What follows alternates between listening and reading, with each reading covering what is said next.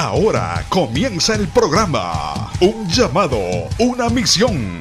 Presentado por la iglesia de mayor crecimiento en el estado de Tennessee, Family Worship Center, Ministerio Hispano y el Ministerio Internacional. Un llamado, una misión para alcanzar vidas con la palabra de nuestro Señor Jesucristo. Llegando a países de Centro y Suramérica, Europa y Asia. El pastor Ismael García ha trabajado como misionero y hoy actualmente es el presidente y pastor del Ministerio Internacional. Un llamado, una misión. Proclamar entre las naciones su gloria, en todos los pueblos sus maravillas. Quédese desde ya en nuestra sintonía.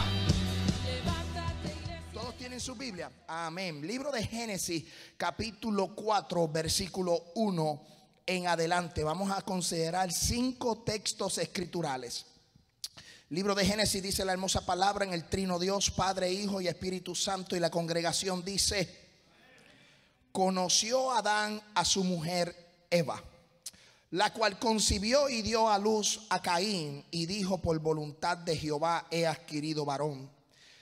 Versículo 2, después dio salud a su hermano Abel y Abel fue pastor de ovejas y Caín fue labrador de la tierra. Y aconteció andando el tiempo que Caín trajo del fruto de la tierra una ofrenda a Jehová. Y Abel trajo también los primogénitos de sus ovejas, de lo más gordo de ellas. Y miró a Jehová con agrado a Abel y a su ofrenda. Versículo 5. Pero no miró con agrado a Caín y a la ofrenda suya. Y se ensañó Caín en gran manera y decayó su semblante. Y decayó su semblante. Puede tomar asiento en esta tarde. Vamos a continuar la serie de mensajes adoradores, no espectadores. La adoración, yo quiero que eh, darle un recap y que queremos eh, retomar algunos puntos de la semana pasada. La adoración es un culto, una referencia que se rinde a Dios por sus obras y por quien es. A través de la adoración se puede expresar mediante oración, sacrificio, alabanza, cantos, meditación, ayuno, acción de gracia, inclinación y servicio. Yo quiero decirle a la congregación que el hombre, su naturaleza es de un adorador. Las sagradas escrituras revelan que Dios determinó y creó al hombre y le dijo, usted va a enseñorearse, usted va a dominar la tierra, usted se va a multiplicar. Pero fuera de esas características que Dios le dio al hombre, la naturaleza del hombre es de un adorador. Hoy día nosotros lo podemos vivir, hoy día nosotros lo podemos experimentar. Alrededor del mundo hay mucha gente que adora dioses eh, paganos, amén, la naturaleza. Eh, hay gente que adora a santos, a ángeles, a libertadores, hombres próceres de los países. Hay gente que adora hasta la muerte. Amén, porque la naturaleza del hombre es de adorar. Nosotros fuimos creados para adorar. Aparte de la instrucción que Dios le dio al hombre de dominar, de multiplicarse, de ser el dueño de la tierra, Dios también le puso en el corazón ese chip o ese, ese, ese corazón de adorador. Hoy día lo vemos, todo el mundo tiene la necesidad de adorar a algo. Lo podemos ver. Yo me puse a buscar información en internet y encontré algunos puntos bien interesantes. Dice, el, eh, según el filósofo y el autor del libro The Everything Words of Religion, todo el mundo, la religión de todo el mundo, Kenneth Scholler en todo el mundo existen 4.200 religiones. Escuche bien eso. En todo el mundo existen 4.200 religiones. Y yo me fui por algunos países y encontré que en México, escuche bien esto, esto es algo bien interesante. De esas 4.200 religiones, en México, escuche bien lo que dice. En México se encuentran registradas en la Secretaría de la Gobernación 102.517 asociaciones de religiones. Eso solo en México. Estuve buscando en Venezuela, estuve buscando eh, en Guatemala, en la, en la India, existen miles de dioses. La gente tiene una hambre y una sed por adorar, sea lo que sea. Obviamente, pues nosotros hemos conocido la verdad. Y esa verdad nos ha hecho libre. Y hemos podido conocer y hemos podido conocer a quien nosotros adoramos. Nosotros adoramos al Dios que está en el cielo. El Dios que yo adoro no es un Dios de palo. El Dios que yo adoro no es un Dios de tradición. El Dios que yo adoro, dice la Biblia, que Jesús le dijo a la mujer samaritana en el libro de Juan capítulo 4 versículo 24, que Dios es espíritu y los que le adoran en espíritu y en verdad es necesario que le adoren. Yo no adoro a alguien que está colgado o que está pintado en una pared porque la pared perece, la pintura se desgasta. Al Dios que yo adoro es un Dios que habita en mi corazón. Ay, ay, ay, ay, ay. Escuche bien esto, me llama mucho la atención porque hay religiones que tienen sus santos, tienen sus ídolos, tienen figuras de yeso, ¿sabes? Pero es que yo no adoro algo que va a perecer. El Dios que yo sirvo es el gran yo soy. El Dios que yo adoro le dijo a Juan, yo soy el alfa y el omega, el principio y el fin. Aleluya. Es que lo que tú adoras es real y es verdadero. Lo que pasa es que no está pintado en una pared. Lo que pasa es que yo no lo llevo colgado del cuello. Lo que pasa es que yo no lo llevo como un amuleto de suerte, no. Es que Él prometió en su palabra que Él iba a estar conmigo hasta el fin de los días. Yo me levanto y se levanta conmigo. Yo camino, Él camina conmigo. Yo hablo y Él habla conmigo. Ay, yo siento la gloria de Dios. Ese es el Dios que yo adoro. Sorry por otras religiones. Sorry por otras denominaciones. ay, yo siento la gloria de Dios. Ay, perdóname. Pero lo que tú adoras no es. Lo que yo adoro es real y es justo y es verdadero. Todo el mundo tiene en su corazón un espíritu de adorador. Y yo creo que es necesario que la iglesia entienda que nosotros somos adoradores. Yo no vengo aquí a sentarme a ser un espectador. Yo no vengo aquí a sentarme a ver qué la pantalla me va a decir, qué las luces me van a dar, qué la música me va a ofrecer. No, yo vengo aquí todos los domingos con una hambre, con una sed de adorar al gran yo soy. Yo tengo hambre de adorar a Elohim. Yo tengo hambre de adorar a, a, Adonai. Yo tengo hambre de adorar a Yahweh. ¿Por qué? Porque un día yo caminaba y Él me rescató de ese pecado en que yo caminaba. Yo tengo un amigo pastor en la India y cada vez nosotros hablamos, nos enviamos fotos, nos enviamos textos de las cosas que suceden. Él me envía, eh, le voy a decir, más de 25, 30 fotos toda la semana de lo que está aconteciendo en la India. Y me llama mucho la atención porque la India es un país que tiene miles de dioses. Son innumerables los dioses. Y él me dice, Ismael, hay un hambre y una sed. Porque la gente está viniendo a los pies de Cristo. Hay un gran avivamiento. Viendo cómo la gente se bautiza. No en piscina, no en río bonito. Hay gente que hoy día se está bautizando. Porque han creído en ríos llenos de fango, llenos sucios. Pero ellos entienden que han chocado con Jesús de Nazaret. Y cuando tú chocas con la cruz del Calvario cuando tú chocas con el Dios creador de los cielos y la tierra, tú sabes a quien tú adoras. Punto número uno. Hazlo bien y con el corazón. Tú y yo somos adoradores. Yo puedo tener el ministerio pastoral Pueden haber gente aquí que tienen el ministerio evangelístico. Podemos aquí tener el ministerio de maestros. Podemos ser danzores, músicos. Podemos tener eh, cualquier título. Pero nosotros simplemente somos siervos de Dios y adoradores a Dios. Si nosotros pudiéramos entender el misterio de la adoración.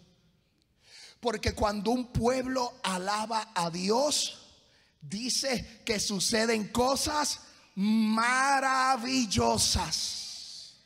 El éxito de la iglesia primitiva en el libro de los hechos era que había unidad en medio de la espera había unidad en la adoración, unidad orando. Si nosotros oramos, si nosotros adoramos unidos con un mismo pensamiento, todos en una misma página, todos con un mismo propósito, yo te voy a decir algo, esta iglesia se le va a abrir el techo y los bomberos van a llegar porque van a decir algo está sucediendo en la iglesia Family Watching Center y es que el fuego de Jehová ha descendido. Iglesia, adoremos a Dios.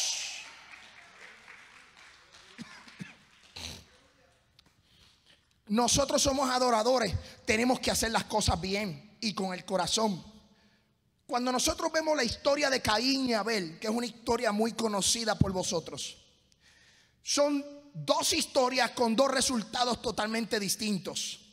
Uno fue un pastor de ovejas, el otro fue un labrador de la tierra. Ambos fueron enseñados en la adoración. Escuche bien esto. Ambos fueron enseñados.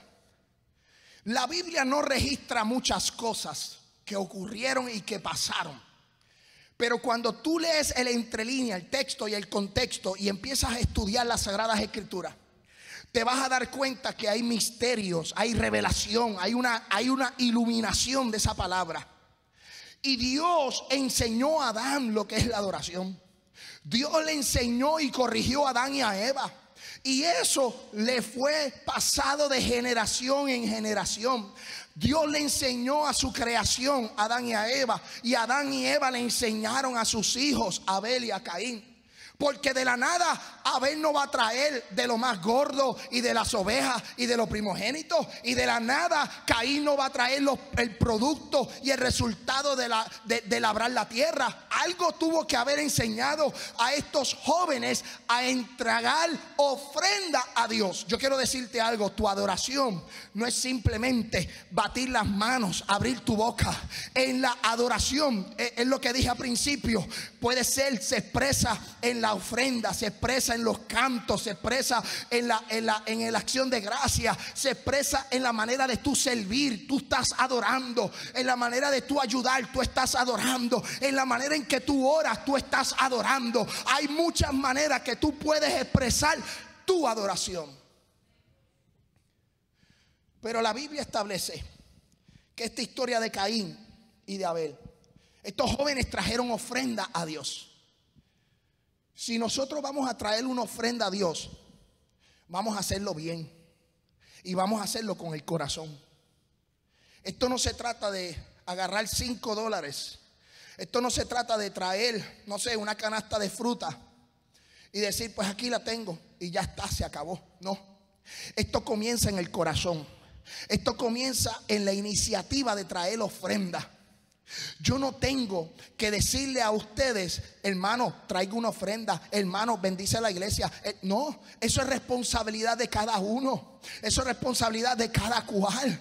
Yo no, hay gente que lo que le gusta es dame, dame, dame. Hermano, tiene que ofrendar. Yo no le voy a insistir con la ofrenda. ¿Sabes por qué? Porque la ofrenda es una expresión de adoración. Si tú quieres adorar mediocremente, tú adoras a Dios mediocremente. Si tú quieres adorar grandemente, tú adoras a Dios grandemente. No se trata de la cantidad ni del tamaño. Se trata de hacerlo bien y con un corazón agradable a Dios. ¿Qué fue lo que pasó con Caín y Abel? La enseñanza. Mira, Dios corrigió. Por eso le digo que Dios enseñó a Adán. Y Adán enseñó a Caín y Abel. Porque si no, ¿por qué hubieran traído esas ofrendas? ¿No se ha puesto a pensar en eso?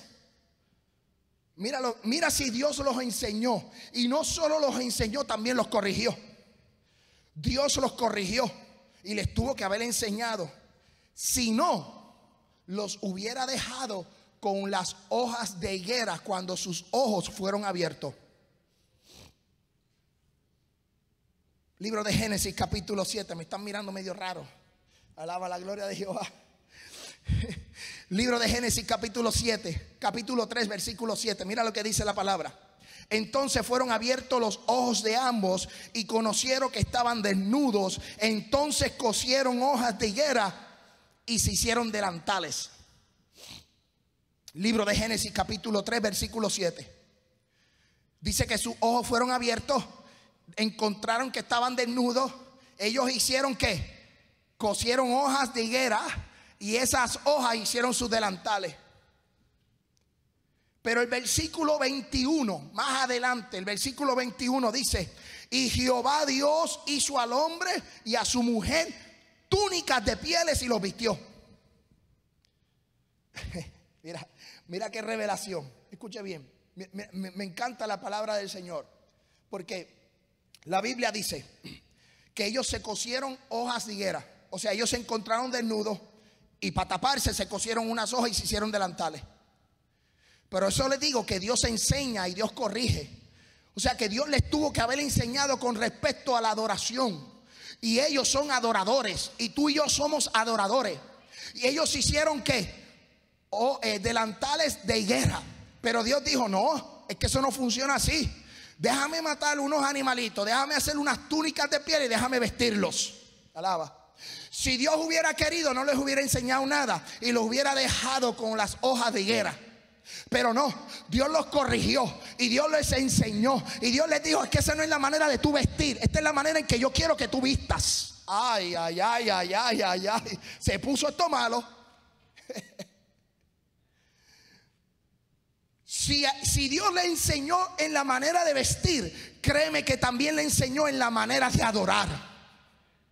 Y les tuvo que haber enseñado. Por eso entonces Caín escogió de lo primero, cogió de, de, los frutos chéveres, bien bonito, agarró los frutos que tenía y los llevó. Y Abel agarró de lo más gordo, de lo más lindo, de lo más bonito, de lo primogénito y se lo llevó a Dios. ¿Y qué hizo Dios? Mirar con agrado la ofrenda de Abel. Iglesia, llevemos nuestra adoración con agrado a Dios. Tú eres un adorador. Tú vienes aquí a adorar al Padre, al Hijo y al Espíritu Santo. Da lo mejor de ti. Hazlo bien. Esto no se trata si tienes mucho o poco. Esto se trata de que cuando tú expreses tu adoración en la manera en que tú quieras expresarla, que lo hagas bien delante de la presencia de Dios.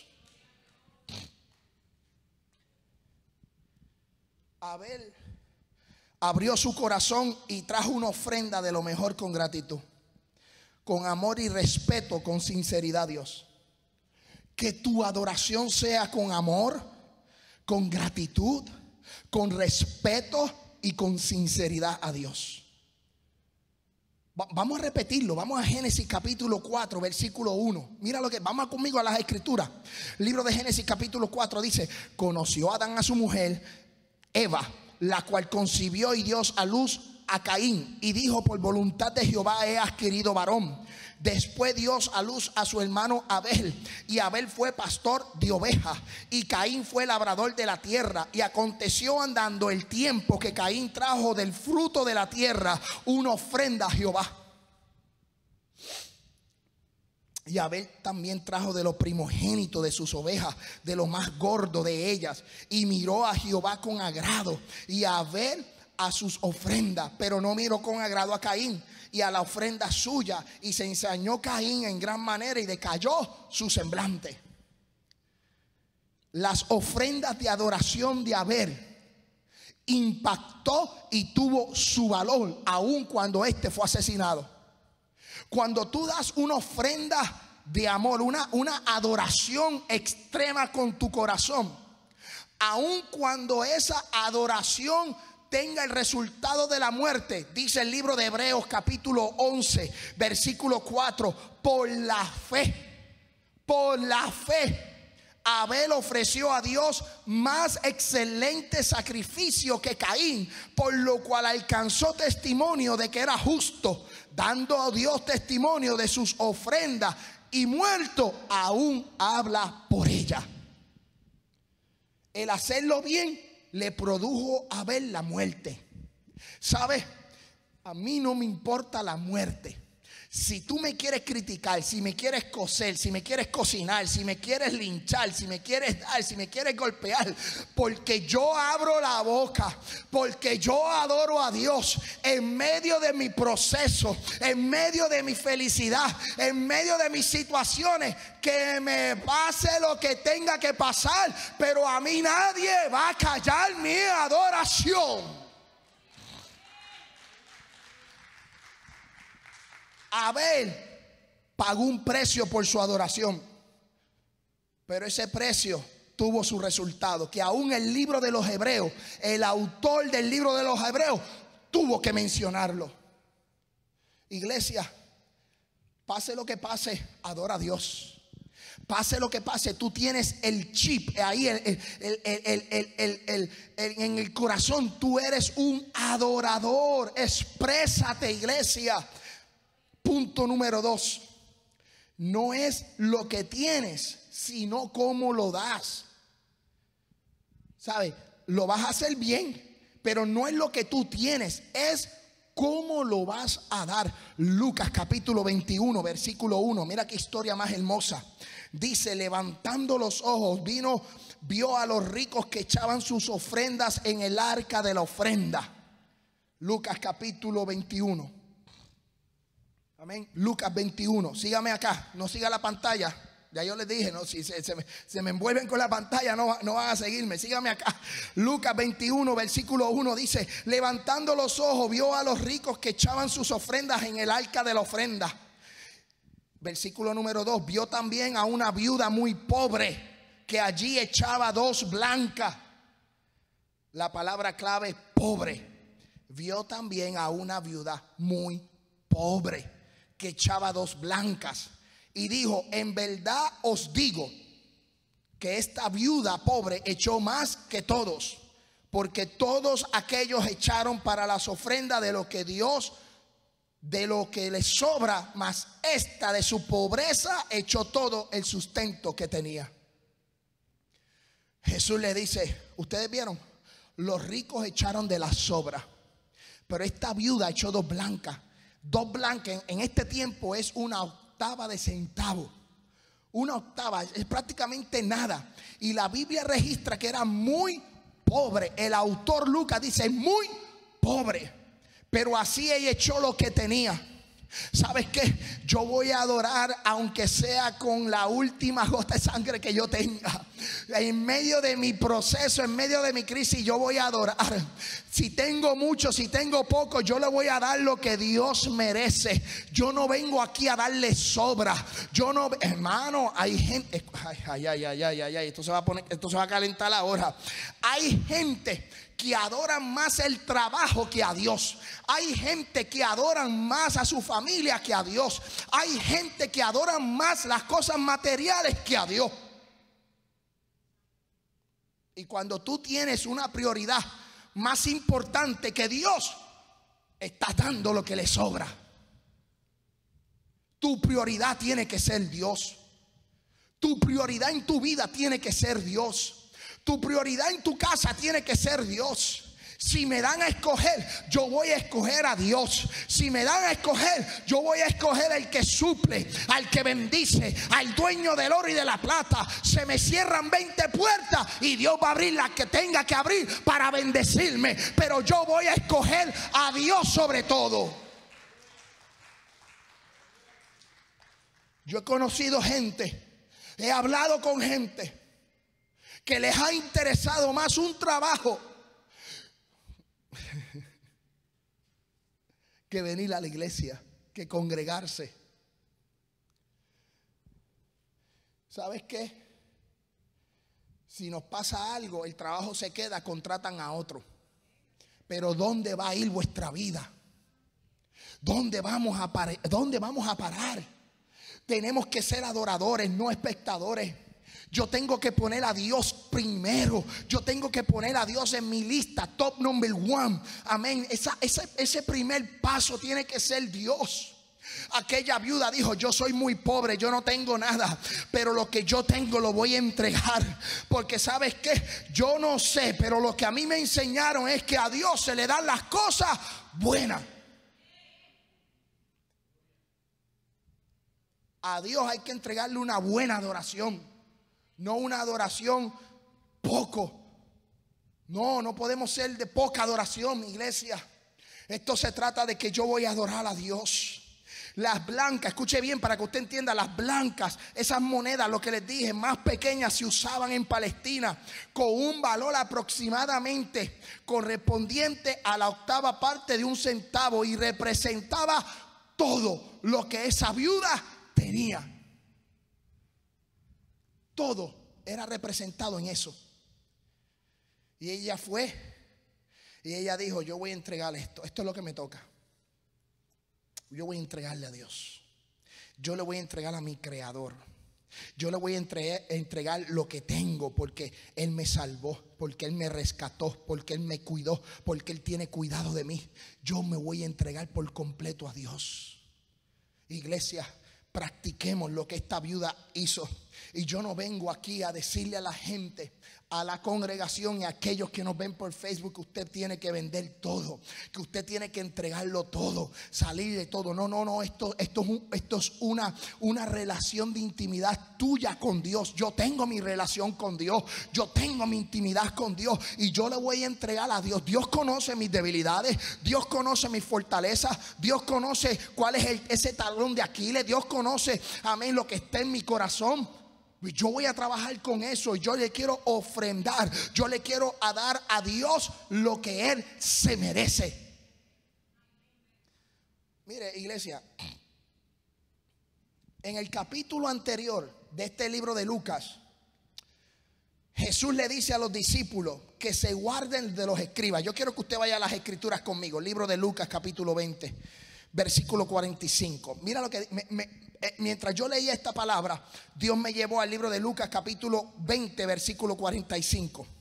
Y oyendo todo el pueblo dijo a sus discípulos, guardaos de los escribas que gustan de andar con ropas largas. Escuche bien esto, esto lo dijo Jesús. Mira lo que dice, guardaos de los escribas que les gusta de andar con ropas largas aman las salutaciones en las plazas. Están en las primeras sillas en la sinagoga, los primeros asientos en las cenas, que devoran las casas de las viudas y por pretexto hacen largas oraciones. Estos recibirán mayor condenación. Porque esto no se trata, esto no se trata de que te vean en la plaza esto no se trata de que tenga la ropa larga. Esto no se trata, esto lo dijo Jesús, no lo estoy diciendo yo, esto dice Jesús.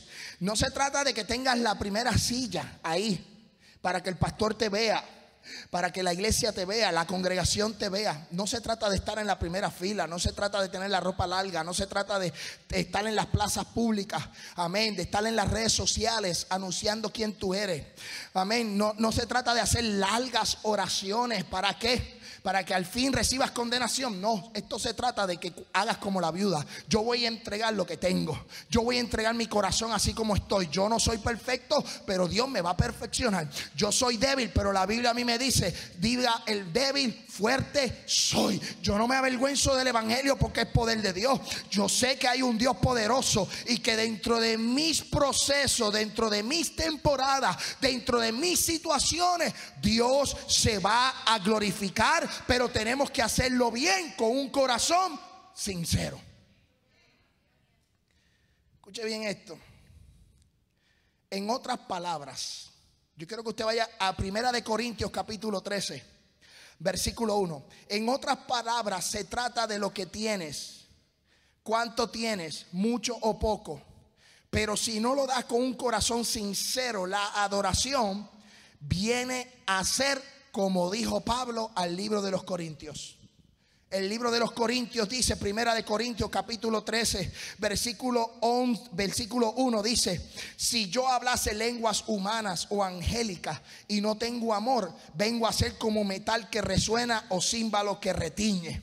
Si yo profetizare o yo tuviese profecía y entendiese todos los misterios, toda ciencia, y si tuviese toda la fe de tal manera que trasladara los montes y yo no tengo amor, nada soy. Pablo le dice, y si repartiese todos mis bienes para dar a comer a los pobres, y si entregase mi cuerpo para ser quemado, y yo no tengo amor, nada me sirve. Sabes que no se trata de lo mucho lo que puedas hacer, porque hay gente que tiene mucho, hay gente que puede hablar en lengua, gente que puede tener el don de ciencia, hay gente que puede levantar muertos, gente que puede levantar paralíticos, pero sabes que a lo mejor su adoración es una adoración mediocre, son como címbalos que retiñen, lo que hacen es ruido. Y yo no estoy aquí para hacer ruido, yo estoy aquí para glorificar el nombre de Jesús de Nazaret.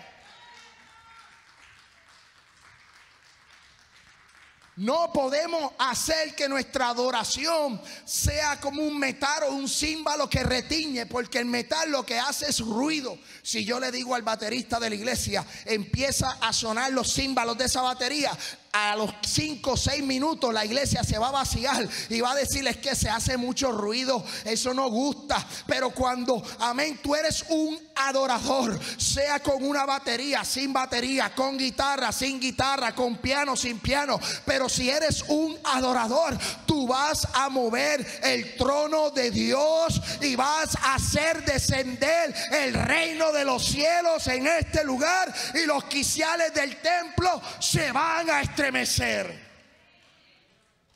Oye, iglesia, punto número tres. Ya estamos terminando. Tu adoración no puede ser quebrantada. Tu adoración no puede ser quebrantada, no puede ser negociable. No venda lo que Dios te entregó, no venda tu corazón. Y ustedes conocen la historia, Daniel capítulo 3, versículo 1. El rey Nabucodonosor hizo una estatua de oro cuya altura era de 70 codos y su anchura era de 6 codos.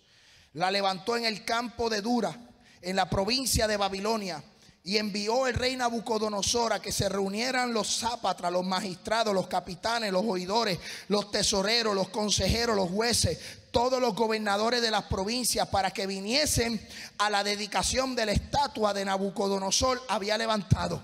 Versículo 3, fueron pues reunidos los sátrapas, los magistrados, los capitanes, los oidores, los tesoreros, los consejeros, los jueces y todos los gobernadores de la provincia a la dedicación de la estatua del rey Nabucodonosor había levantado y estaba de pie delante de la estatua que había levantado el rey Nabucodonosor. Dice el versículo 4 y pregonó anunciando a alta voz, mandando vosotros, oh pueblos, naciones y lenguas, que al oír del son de la bocina, de la flauta, del tamborín, del arpa, del salterio, de la zampoña y de todo instrumento de música, que se postren y adoren la estatua de oro que el rey Nabucodonosor se ha levantado. Y cualquiera que no se postre y adore inmediatamente será echado dentro de un horno de fuego. Habían tres jóvenes hebreos, Sadrach, Mesach y Abednego, su adoración era inquebrantable. Ellos dijeron que el rey levante la estatua que se tenga que levantar,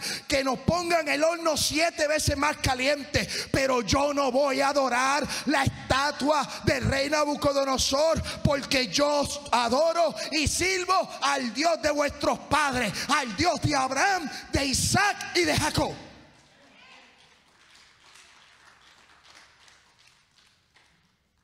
Oye, hay que ser bravo. Ah, yo conozco dos o tres que le prenden un horno de fuego y créeme que lo primero que se van a tirar es de pecho. Se pelan el pecho. Sí, porque hay muchos que son valientes en la adoración aquí, con el micrófono.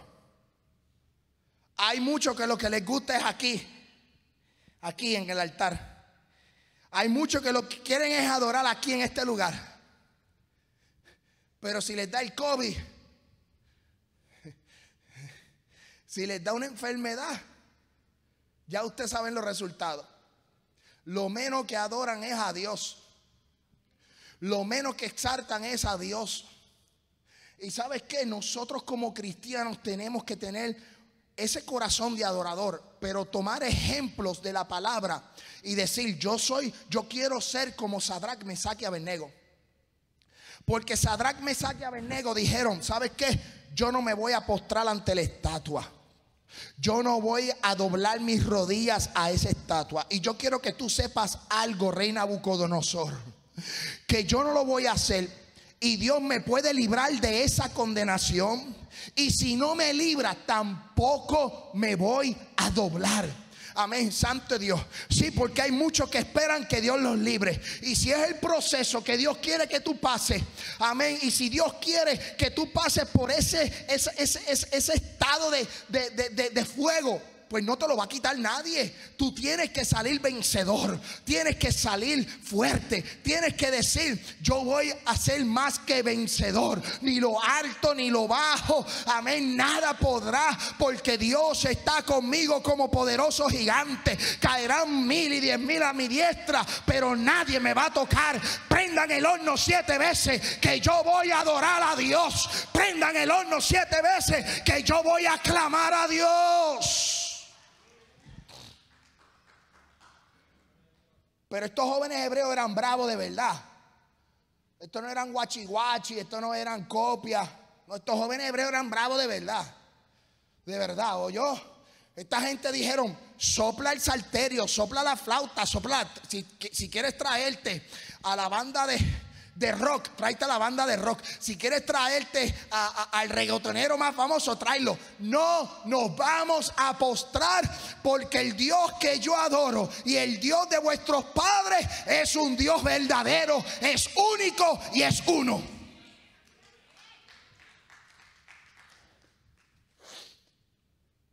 ¿Tú sabes por qué esta gente se atrevió a hacer lo que hicieron? ¿Sabes por qué? Porque estos tres jóvenes hicieron lo que hicieron porque hubo alguien que les enseñó.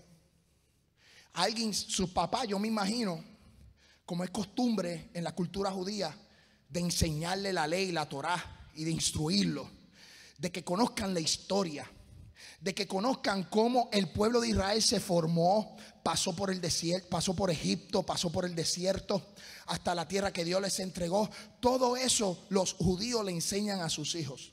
Y cuando hay enseñanza, con un principio de ley, con un principio bíblico, con un principio de Dios.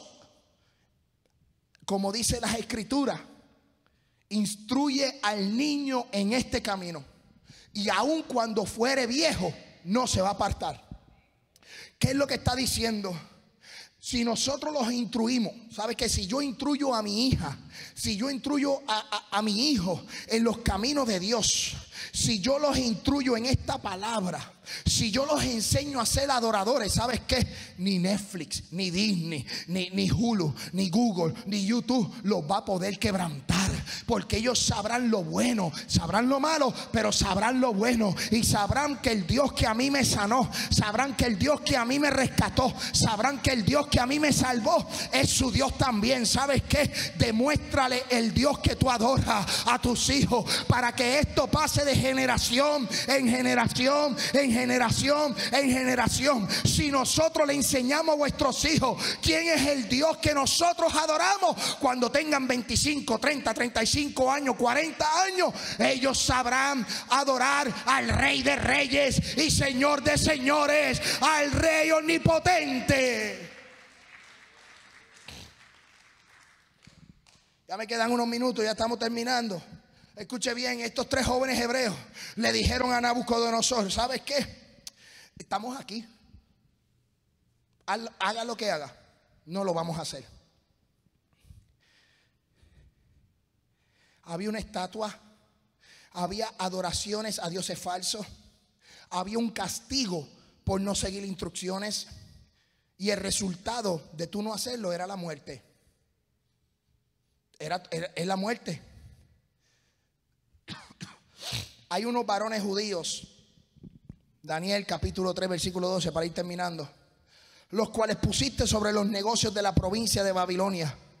Sadrán, Mesaque y Abednego. Estos varones, oh rey, no te han respetado. No adoran tus dioses, ni adoran la estatua de oro que has levantado. Entonces Nabucodonosor dijo con ira y con enojo, trajesen a Sadrach, Mesach y Abednego. Y al instante fueron traídos estos varones delante del rey. Sígame con las escrituras. Daniel capítulo 13, versículo 14. Habló Nabucodonosor y les dijo, en verdad Sadrán me saque a Benego que vosotros no adoráis a mi Dios, Dios con minúscula, ni adoráis la estatua de oro que he levantado. Ahora pues están dispuestos para que al oír de la bocina, de la flauta, del tamborín, del arpa, del salterio, de la zampoña, de todo instrumento, os mostréis adoración a la estatua que he hecho porque si no la adoras a la misma hora seréis echados en medio del horno de fuego ardiendo y que Dios será aquel que los libre de sus manos. Mira la respuesta, escuche bien esta respuesta que dan estos jóvenes hebreos y respondieron Sadrach, Mesach y Abednego al rey Nabucodonosor, no es necesario que te respondamos sobre el asunto, no te interesa, no te voy a responder, yo no voy a seguir tus caprichos. Sorry for you. I don't care what you say. Yo te voy a decir algo. Cuando tú estás fundamentado sobre la roca, puede venir el viento, la tormenta, el huracán, el terremoto, pero tu fe va a ser inquebrantable. Vas a ser inmovible porque estás sobre la roca. Aleluya. Iglesia, esto es un problema, me estoy quedando ciego. Mira lo que dice para terminar. He aquí nuestro Dios a quien servimos. El hermano Silvio y el ministerio de adoración pueden pasar hacia adelante. A Dios a quien servimos. Puede librarnos del horno de fuego ardiendo y de tu mano. no solo del horno, sino de la mano. Oh rey, nos librarás.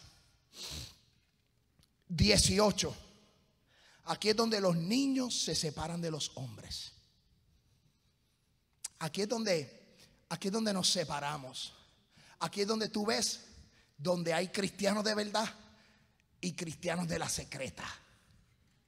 Si no ha visto esa película, se la recomiendo. Cristiano de la secreta, una película dominicana en base a un cristiano que se esconde. Véala, se va a gozar. Hay gente que son cristianos de la secreta que se esconden, solamente son aleluya.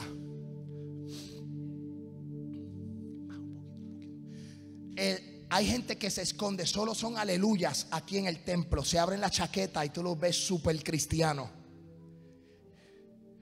Pero lo que no saben es que aquí está la cristonita. Hay gente que se cree Superman, pero no saben que está la cristonita. ¿Sabe lo que es la cristonita? La cosa verde en la película de Superman que Superman se debilita. Es lo único que debilita a Superman, el hombre de acero. Pero ve la cristonita y se hace nada. Alaba la gloria de Jehová. Aquí es donde nos separamos. Aquí es donde dice, y si no sepas, oh rey, que no serviremos a tus dioses, ni tampoco adoraremos las estatuas que has levantado. Versículo 19. Entonces Nabucodonosor se llenó de ira y se demudó al aspecto de su rostro contra Sadrach, Mesach y Abednego. Y ordenó que el horno se calentara siete veces más de lo acostumbrado. Siete veces más caliente de verdad. Y dice que cuando los echaron al horno de fuego, se supone que murieran inmediatamente. Pero de momento el rey veía cuatro personajes. Pero ellos habían echado tres. Pero se veían cuatro personajes. ¿Sabes qué? que cuando los iban echando al horno de fuego, yo me imagino, no lo dice la Biblia, pero yo me imagino que mientras iban caminando al horno de fuego, los soldados de, Babilonia, Nabucodonosor y todo el mundo los tenían ahí, mano a mano, llevándolos al horno de fuego. Y ellos iban cantando. Ellos iban adorando. Ellos iban diciendo, Yahweh es mi libertador. Rafa. Ellos iban diciendo, Elohim, Adonai. Él se manifestará. Ellos iban caminando y mientras iban caminando iban adorando. Y dice que cuando los iban echando al horno de fuego, dice que cuando abrieron las puertas los soldados murieron automáticamente y a ellos los empujaron. Pero cuando los empujaron al horno de fuego, ellos estaban que adorando. Y Nabucodonosor no vio tres, vio cuatro. ¿Por qué? Porque en medio de la adoración dice que veía el cuarto era semejante al Hijo del Dios Supremo. Cuando tú adoras en medio de tu fuego, Dios se va a glorificar. Aunque pase por las aguas, no te anegará. Aunque pase por el fuego, no te quemará. Jehová estará contigo como poderoso gigante. Puestos en pie, iglesia, que si nos echan, nos calientan el horno de fuego, yo te tengo que decir en esta tarde, alaba, glorifica, porque Dios se va a meter contigo al horno, porque Dios va a estar contigo en el horno. Aleluya.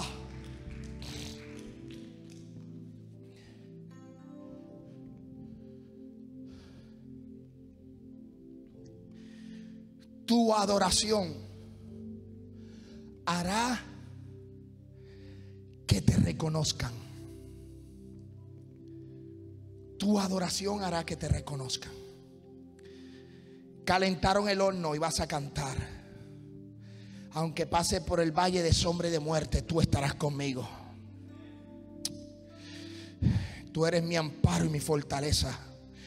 Tú eres mi castillo, mi pronto auxilio.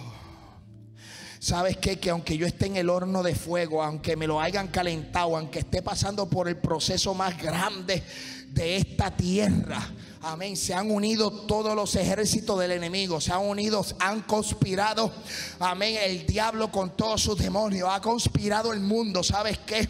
Aunque yo pase por este proceso, Dios va a recibir mi adoración y mi adoración va a romper cadenas, va a libertar, va a sanar y la gente que me rodea, la gente que está a mi lado sabrá que hay un Dios en Israel, sabrá que hay un Dios en mi casa, sabrá que hay un Dios a quien yo adoro. Iglesia, si te calentaron el horno, adora. Si te calentaron el horno, canta. Si te calentaron el horno, grita. Si te calentaron el horno, exalta a tu Dios. Porque Dios descenderá y enviará el ángel de Jehová para que te acuerdes de que Él te va a defender, de que Él te va a cuidar, de que Él estará contigo, que no te ha dejado. Claman los justos y Jehová los oye. Yo quiero orar por ti. Yo siento en el espíritu de orar en esta hora. Si te han calentado el horno, yo quiero que tú pases, yo quiero que tú adores, yo quiero que si te quieres tirar de rodillas, tírate de rodillas, adora a Dios, adórale, adórale, adórale, adórale en esta hora. Dios ha sido bueno. En esta tarde yo quiero decirle a la iglesia que tu adoración no sea de, de expectativas o de que no seas espectador. Shamanse requetawama. Y amanse ketawamana y amanse requetatawama. Y amama mama mama shukua requetatawamana. Santo es Dios. Ayúdame a entonar una alabanza. Vamos, iglesia. Vamos, iglesia, hay un ambiente. Dios está en este lugar. Dios está en este lugar.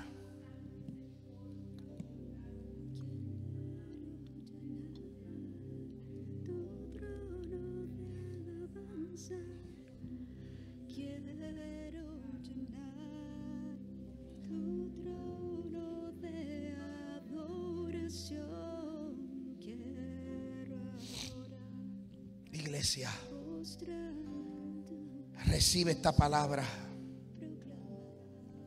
Recibe esta palabra. Aleluya. Quiero llenar su trono de alabanza. Aleluya. Espíritu Ahora nos despedimos y le invitamos a escucharnos en una próxima.